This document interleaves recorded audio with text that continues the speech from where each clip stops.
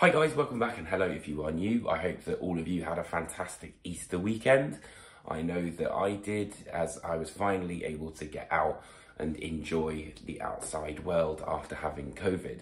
But we are not here to talk about me being ill. Instead, we are here to talk about the just as sickening new album by Undeath, which is It's Time to Rise from the Grave.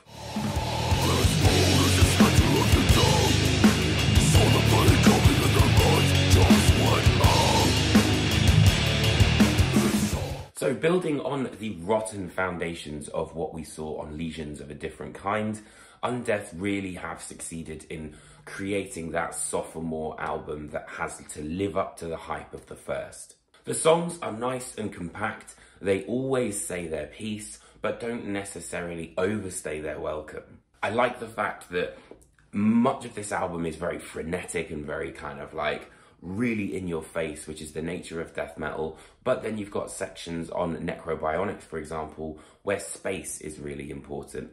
And the band understand that when it comes to songwriting.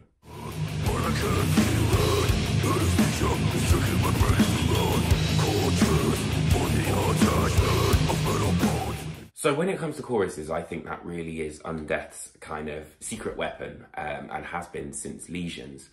And it's mainly due to, I think, Alex Jones's enunciation, but I think there's three main factors. The first being simple lyrics. So like Bone Rot is a great example of that. The second being repetition, so rise from the grave, we have that rise being repeated. And the third is that they follow the guitar rhythms and uh, that kind of I think ingrains itself even more in your psyche and you don't necessarily realize it but by the end of that song you've already got the chorus.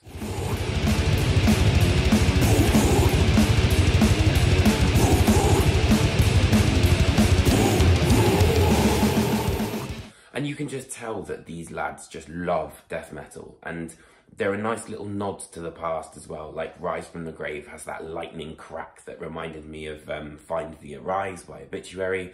And then there's a sort of anvil sample on Bone Rot. And, you know, the lyrical subject matter is zombies, people eating each other, someone being made into a human chandelier, you know. You can tell that there's that sense of kind of macabre storytelling that has always been at the sort of heart of death metal and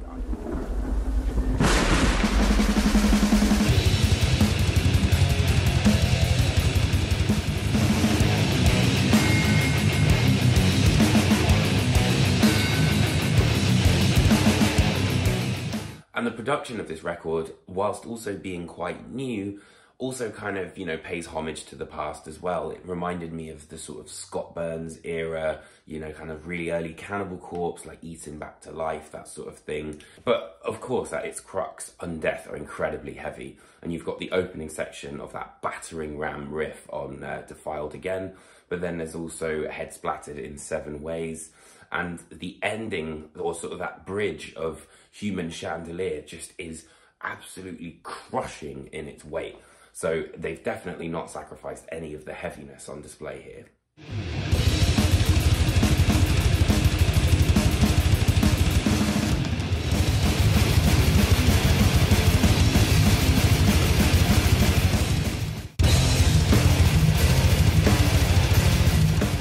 I also like the fact that there's kind of a bit more of an influence of heavy metal on display here. You know, it's kind of in the the backing um, riff of Rise from the Grave when the solo's in there. It's got that sort of like Iron Maiden style triplets.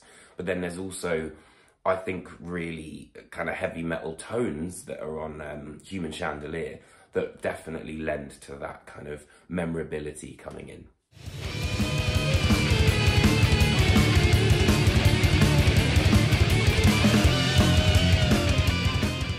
And of course, that leads me to the solos. The solos sound Azagthothian, you know, they've got that sort of like dive bomb, frenzied attack, you know, it's, it's like like a zombie, essentially. Um, I really, really like that, and I like the fact that there's a lot of use of diminished scales. It's quite interesting, you know, like it's often quite a simple riff, but it will be moved, you know, sort of like upper semitone, upper whole tone, down a semitone, all that sort of stuff. So again, it lends to that sort of sense of memorability. And the album is nice and short. It's 36 minutes. It's often not even long enough for me to get to work to. So it doesn't overstay its welcome. And I think, again, that lends itself to that replayability, that it's not kind of like too much of a sort of big ask of the listener and you can kind of just quickly tune into it, jam a couple of songs, and then that's it. The album's already gone. It's Time to Rise from the Grave improves on what we saw on Lesions of a Different Kind and given the fact there are nods to the past, still sounds very fresh and vital and is pushing Undeath forward, I think really to become one of the lead major players in death metal in 2022. So I hope you enjoyed this album review. I'd love to hear what you think of the album and the video.